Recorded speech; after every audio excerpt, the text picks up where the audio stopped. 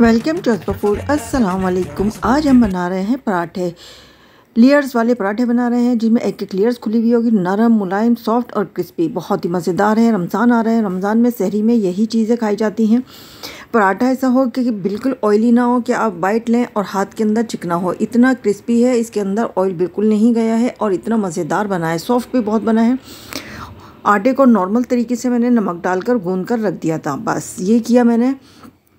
और थोड़ा सा आप नरम गूँध लें तो ज़्यादा नरम और सॉफ्ट बनते हैं।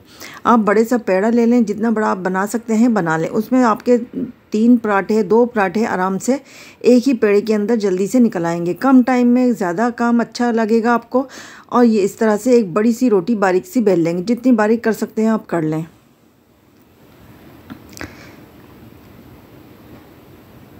अगर आप चाहें तो सिंगल सिंगल भी पेड़े बनाकर बना सकते हैं कोई इशू नहीं है इसके अंदर, आराम से बनेंगे।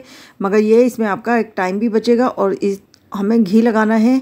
इसके अंदर घी वाले पराठे ज़्यादा अच्छे बनते हैं बनस्बत ऑयल के। थोड़ा सा हम खुश्क, है ना, इसके ऊपर स्प्रिंकल कर देंगे मैदा।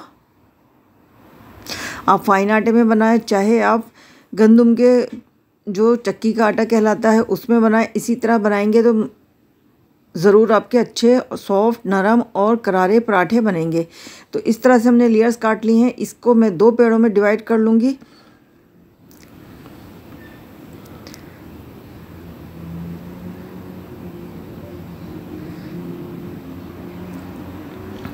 अगर आप छोटे बनाना चाह रहे हैं तो इसमें तीन पराठे भी आराम से बन सकते हैं।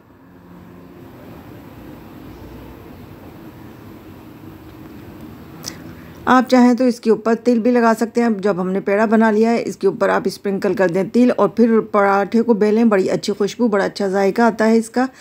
तो इसी तरह हम सभी अपने घर में जो पराठे होंगे, वो इसी तरह बनाएँगे। अभी मैं सिर्फ़ आपको दो दिखा रही हूँ, वरना बहुत टाइम लगेगा। अगर आप पेड़ा इस तरह से बना के रख देंगे तो बहुत ही सॉफ्ट हो जाएँगे। रमज़ान के अंदर आप रात को ये तैयारी करके सो जाएँ। सिर्फ़ आपको शहरी में बेल के फ्राई करने हैं तो आपका टाइम भी बचेगा, आपको तहजुद के लिए भी अच्छा सा टाइम मिल जाएगा। जो रात की इबादत होती है, अल्लाह ताला को वैसे भी पसंद है। और रमज़ान तो हर लम्हे ही इबादत का हमारा गुजरता है। तो बहुत आसान है ये पराठे। आप इसका आटा भी अगर गूंद कर रख देंगे तो दो दिन, तीन दिन आराम से चल जाता है। अगर आप चाहें तो इसको फ्रीज़ कर लें। फ्रोज़न पराठे भी बना सकते हैं इस तरह से। हल्का सा आप तवे पर सेकें, बस ये इस तरह से सेकें और इस तरह से आप इसको फ्रीज़ करते जाएँ।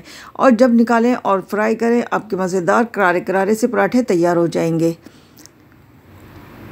जैसे हम समोसा और रोल की मांडा पट्टी बनाते हैं, इस तरह से बस लाइट सा हमें बिल्कुल, इसको पैन को गर्म करना है और उसके ऊपर करके आप एक के बाद एक ठंडा करने के बाद उसको फ्रीज़ कर दें।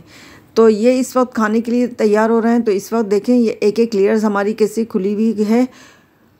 इस तरह करने से लेयर्स खुल जाती हैं। तो आप ये देखें, बीच के अंदर से आपको अंदाज़ा हो रहा होगा। ये देखें जनाब, कितनी बारीक बारीक अंदर लेयर्स हैं, बिल्कुल ही थिन वाली।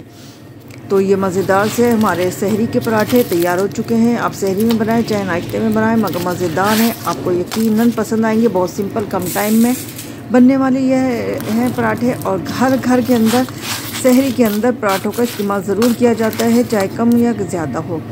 तो आप इस रेसिपी को फॉलो करें। आटे को आप हमेशा जल्दी गूंद कर रख दें। अगर दो तीन घंटे आपने गूंद के रख दिया तो बहुत अच्छे, बहुत ही सॉफ्ट बनने वाले हैं आपके पराठे।